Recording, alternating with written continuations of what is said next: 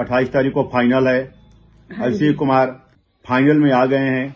अभिषेक कुमार के पेरेंट्स ने की है वोट की अपील।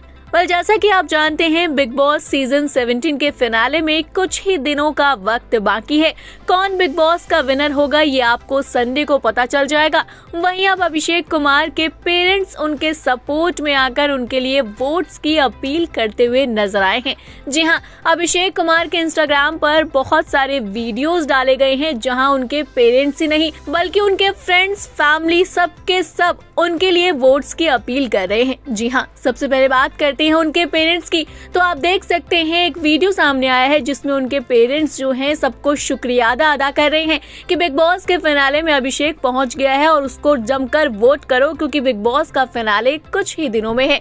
वहीं अगले वीडियो है उडारिया के एक्टर्स के, जिसमें चेतना सिंह अभिषेक को अपना भाई मानती है और उन्होंने भी अभिषेक के लिए कहा कि मुझे ट्रस्ट नहीं हो रहा कि अभिषेक फिनाले में पहुँच गया है और उसे इस तरह देखकर बहुत खुशी हो रही है। तो गाइस जल्दी जल्दी उसे वोट करो और विनर बना दो। वहीं पर उडारिया के एक और एक्टर राम ने भी वोट्स की अपील की है और कहा है कि भाई जल्दी से अभिषेक कुमार को विनर बना दो। वाल आप क्या कहना चाहते हैं अभिषेक के लिए? कमेंट करके बताइए।